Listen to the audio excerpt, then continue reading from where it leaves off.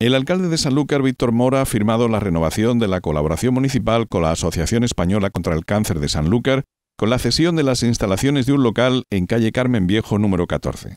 Tras el acto, el regidor, por un lado, Mercedes Hidalgo, presidenta de la asociación por otro, y Javier Porrúa, primer teniente de alcalde, han presentado la tradicional cena benéfica. Respecto a la sede de la asociación, se trata de un local de cuya cesión disfruta la entidad desde el año 2012 y en la que realiza la práctica totalidad de sus iniciativas a favor de los afectados por el cáncer y sus familiares. La cena benéfica tendrá lugar el viernes 1 de julio a partir de las 20 horas en el Castillo de Santiago. La entrada donativo tendrá un coste de 40 euros. Las invitaciones se podrán recoger en la sede de la asociación a partir de la próxima semana en horario de mañana y tarde, salvo el lunes y el viernes, que será solamente por la mañana.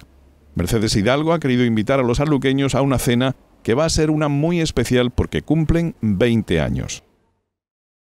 Animo a, todos, a todos los que quieran participar con nosotros este año, que sabemos que durante estos años atrás, pues hemos tenido muchísima gente, mucho, mucho más de lo que esperábamos.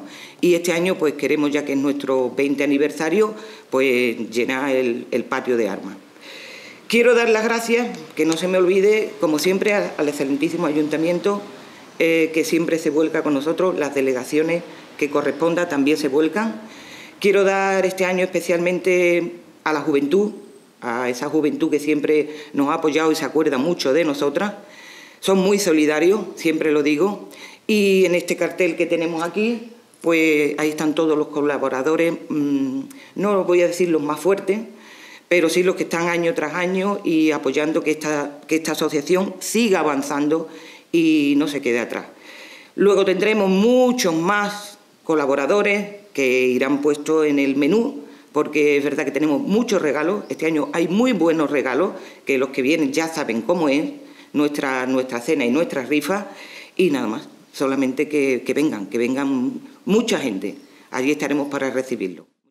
Por su parte, el alcalde ha destacado el valor que tiene este acuerdo, ya que se trata de una renovación del local que se une al convenio de colaboración que el pasado año aumentó su cuantía. Son ya 10 años, nos lo recordaba ahora Mercedes, la presidenta, en el que hemos querido colaborar con ellos porque es fundamental la labor que realizan. Una firma del local que viene a unirse también a la firma del convenio que anualmente hacemos, que en estos presupuestos aumentó su cuantía porque, verdad, ¿no? Eh, son colectivos, asociaciones que llegan donde la administración no llega, pero que tenemos que trabajar de la mano para que esa ayuda que realizan a muchas personas con la enfermedad o sus familiares que a veces no saben dónde acudir, van a la asociación y me consta, como alcalde y como vecino, que continuamente están trabajando.